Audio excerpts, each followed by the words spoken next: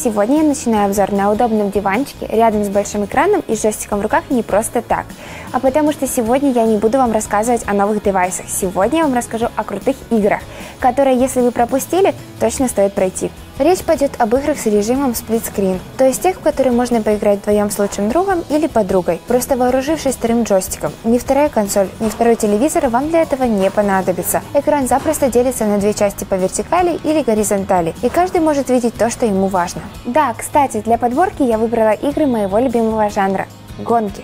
На машинах, мотоциклах и даже с одновременной игрой в футбол. Хотите? Тогда скорее подписывайтесь на наш канал и поехали!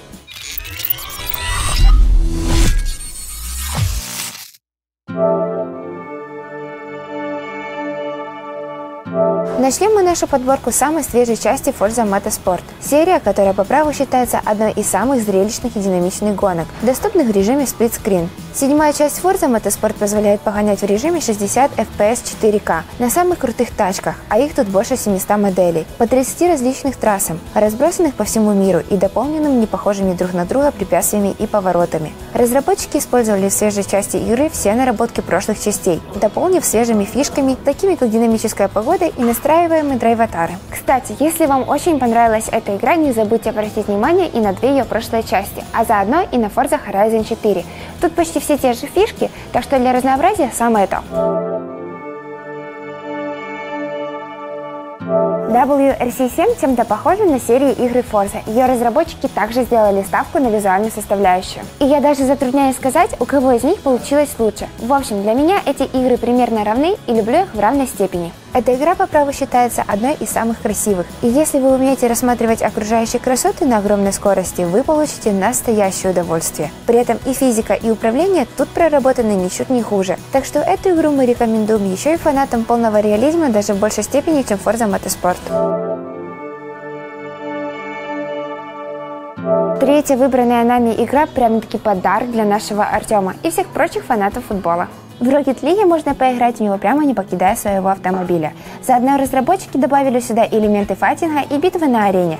В общем, скучно точно не будет. Каждый игрок в Rocket League получает, а если точнее, то выбирает себе боевой автомобиль немалых размеров, с помощью которого ему нужно будет забить ворота противника ничуть не меньших размеров мяч. Чтобы сделать это, вам придется сражаться с другими игроками, и, конечно же, это вдвойне интересно делать в компании с лучшим другом в режиме сплитскрин.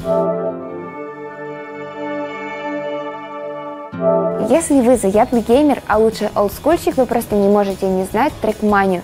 Самая крутая аркадная игра всех времен и народов, и она также оказалась в нашей подборке. Правда, ее свежая версия Trackmania Turbo. Чем так хороша трекмания? Ну, во-первых, тем, что это одна из немногих аркадных гонок со сплитскрином вообще. Во-вторых, тем, как качественно она сделана. И в-третьих, что, наверное, важнее всего, в ней можно самостоятельно собственными руками создавать трассы с правилами и условиями. В общем, игра просто не исчерпывает себя и можно делать небольшие заподлянки друг другу. Кроме того, тут есть сюжетный режим с двумя сотнями детально проработанными создателями игры треками. Так что если вы захотите пройти гонку в режиме сплитскрин на равных, не давая ни одному из вас преимуществ на ней трассы, вы тоже тоже сможете это сделать.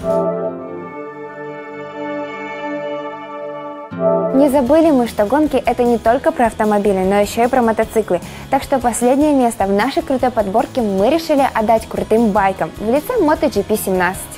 MotoGP 17 – самая крутая игра и самая реалистичная игра под Xbox, в которой вы сможете погонять на супербайках. Хороша она со всех сторон и визуально, и с точки зрения физики, и по выбору транспортных средств, и с точки зрения мультиплеера. Достойных аналогов у нее не так уж и много, так что проходить мимо очень не рекомендуем.